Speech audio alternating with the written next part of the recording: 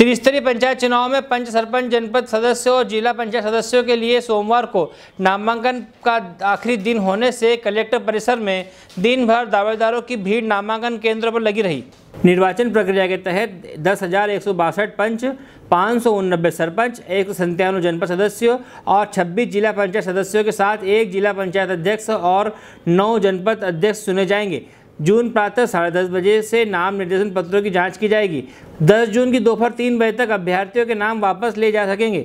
इसी दिन दोपहर तीन बजे के बाद से निर्वाचन लड़ने वाले प्रत्याशियों की सूची तैयार और निर्वाचन प्रतीकों का आवंटन किया जाएगा। राज्य निर्वाचन आयोग द्वारा जारी कार्यक्रम अनुसार खरगोन ज़िले के तीन चरणों में चुनाव होंगे। प्रथम चरण में भगवानपुरा झिन्निया और सेगांव में निर्वाचन होंगे। इसी तरह द्वितीय चरण में महेश्वर, बड़वा तथा तृतीय चरण में भिकनगांव कसरावत गोगावा, खरगोन जनपदों के लिए मतदान क्रम से 25 जून, एक जुलाई और आठ जुलाई को होगा। मतदान क्रम से 25 जून प्रथम चरण के लिए 10 जुलाई द्वितीय चरण के लिए और आठ जुलाई को तृतीय चरण के लिए मतदान होगा। मतदान प्रातः सात बजे से दोपहर तीन बजे तक होगा। इसके पश्चात मतदान केंद्र पर मतगणना होगी। खरगोन से जयंत गुप्ता की रिपोर्ट। सत्रह नंबर वार्ड से जिला पंचायत सदस्य के लिए। आप दावेदारी किस लेके आपने क्या पृष्ठभूमि आपने क्या ऐसा किया है कि आपको दावेदारी और आपको लोग जिताएँगे?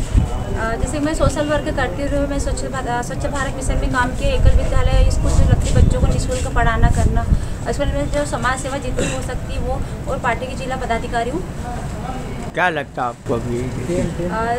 अब देखो सामान्य महिला है तो सामान्य महिला को ही पात्रता दी जाए। जो महिला स्वयं सक्षम है आत्मनिर्भर है वो काम कर सकती है। तो इसीलिए एक विचार बना है कि नहीं अपन भी दायित्व के लिए आप आवेदन कर सकते हैं। पहले भी कोई राजनीतिक पद पे रहे हैं आप? अब मैं इसमें पहले पंच का फॉर्म चुनाव लड़ी थी मैं गाँव से और उसके बाद मैं जिला मंत्री हूँ। क्या नाम है आपका? शीला पटेल।